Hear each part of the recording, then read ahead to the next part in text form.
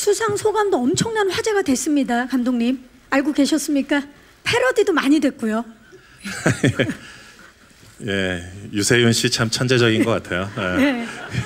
존경합니다. 예, 그리고 문세윤 씨도 예, 네, 엄청나죠. 예, 뭐 참 최고의 엔터테이너신 것 같고 그 어, 오늘 아침에 그 마틴 스콜세지 감독님이 편지를 보내 오셨어요. 네, 몇 시간 전에 그 편지를 읽었는데 되게 예, 저로서 영광이었고 어, 저 저한테 개인적으로 보내신 편지니까 그 내용을 뭐 말씀드리는 네. 건좀 실례인 것 같긴 하지만 어쨌든 그 마지막 문장에 그 그동안 수고했고 이제 좀 쉬- 쉬라고 예, 대신 조금만 쉬어라. 예, 다, 이제 뭐 나도 그렇고 다들 차기작을 기다리니까 조금만 쉬고 빨리 일하라고 이렇게 문자 아니 그 편지를 보내주셨어요. 그래서 되게 어, 감사하고 기뻤습니다. 네, 최고의 응원을 받으셨네요.